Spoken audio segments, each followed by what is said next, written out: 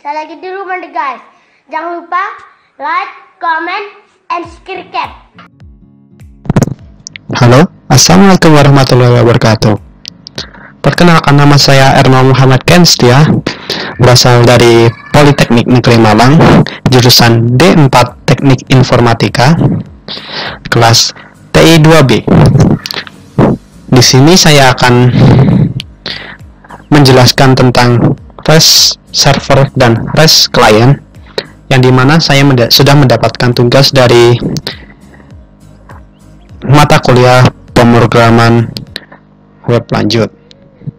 Lanjut ke video untuk video kali ini. Di sini saya akan menerangkan bagian reserver dulu di mana reserver akan melakukan get put da- get put delete dan update data dari si servernya. Di sini untuk melakukan pengecekan reserver, install dulu Postman ya. Pertama, kita membuat library di mana untuk mengontrol si reservernya dan membuat construct function untuk melakukan load model dari si game ini. Nih. Ini adalah codingan untuk get data dari si server. Ini melakukan delete data dari si reserver dan ini melakukan post data dari reserver dan ini melakukan update data dari si reserver.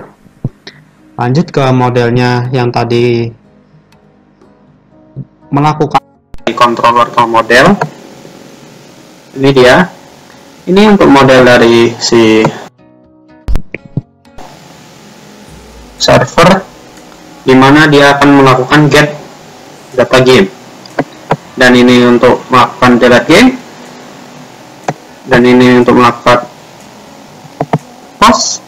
data game dan ini untuk melakukan update data game yang berada di model game dari reserver tadi lanjut untuk melakukan pengecekan datanya di sini kita buka postman dulu. Pilih get dat pilih menu get lalu non dan alarms untuk URL nya lakukan seperti lakukan untuk ini.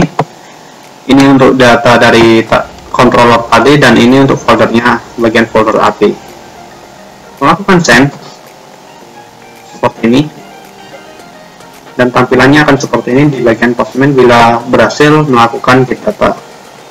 Untuk bagian post data ini menu post URL nya seperti tadi ya. Dan klik key eh, buat key nya dan value nya sesuai dari database dari si server tadi. Untuk ID game karena ID gamenya auto increment jadi tidak usah. Ini. Untuk input datanya. Lalu send akhirnya data berhasil dibuat oleh kita melalui postman ini dan untuk melakukan update data kita perlu ID juga. ID nya sesuai dari auto increment tadi yang bagian database tabel si game ini. Lalu klik send. Highlight karena kita belum kan belum melakukan update data. Kita lakukan update data dulu seperti ini. Atau dan ini ganti 200 atau gimana terserah. Dan ini game dengan ini. Ini. Kita taruh filenya ke dalam folder si reservernya agar bisa terbaca oleh si postman ini. Lalu send dan berhasil data berhasil diupdate. Untuk melakukan delete, kita hanya perlu memanggil si ID-nya saja.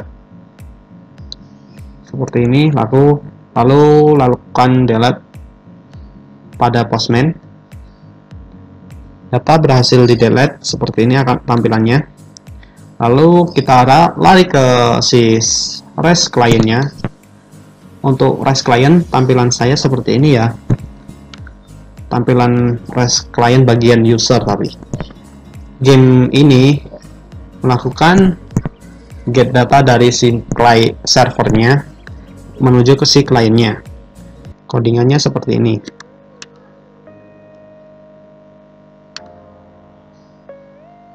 Ini untuk tampilannya. Lalu untuk si controllernya bagian home. Mana kontrolnya ini dia home. Ini untuk melakukan get data dari tampilan indeks tadi. Seperti ini. Dia akan melakukan load data view dari game model di mana game model tadi mengambil barang seperti ini. Agar kita dapat melakukan get data push data post data dan delete data dari si client server maka kita perlu menginstal Gazelle HTTP ini.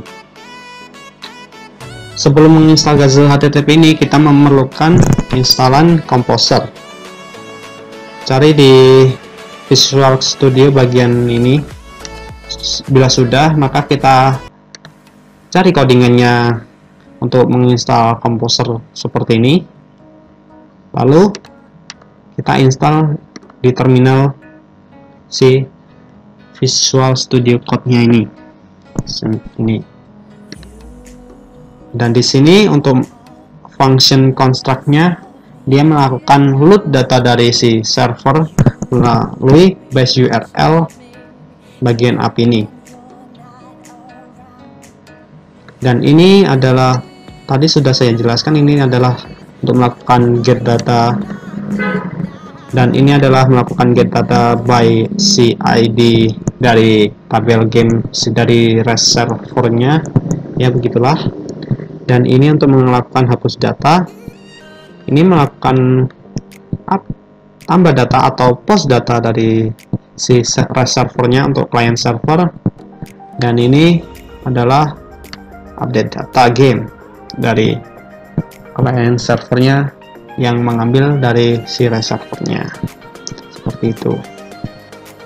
Kembali lagi ke tampilan tadi. Di sini sudah saya jelaskan dari get dari si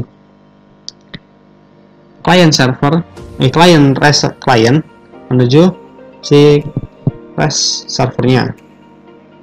Lalu kita lari ke client admin. Admin. Seperti ini tampilannya. Dia melakukan get data game tadi dari admin ini. Melakukan get data dari si servernya. Di mana datanya seperti ini dari controller. Seperti ini. Dia akan melakukan get data dari isi servernya melalui melalui load model game load game model tadi. Untuk bagian gambar ini ini adalah melakukan edit. Di mana edit functionnya seperti ini dari controllernya. Dia mengambil ID per ID game dan melakukan load dari data game model tadi melalui get game by ID seperti itu.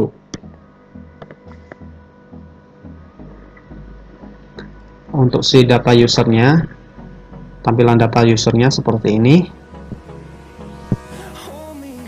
Ini adalah tampilan data user.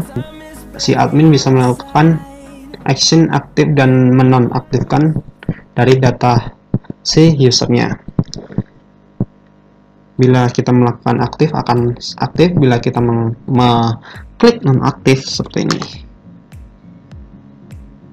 Pada status dari si usernya diaktif, maka dia tidak bisa melakukan login seperti ini.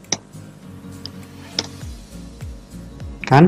Dia tidak melakukan aktif karena admin tadi melakukan action di mana si usernya tidak bisa melakukan login. Maka kita perlu seperti ini.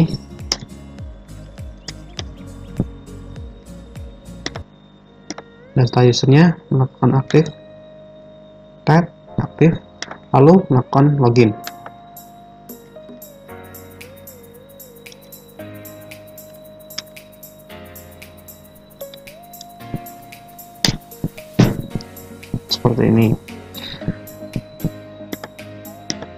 Cukup sekian dari saya. Bila ada kesalahan mohon maaf. Dan kesempurnaan hanya milik Allah semata. Wassalamualaikum warahmatullahi wabarakatuh and see you next time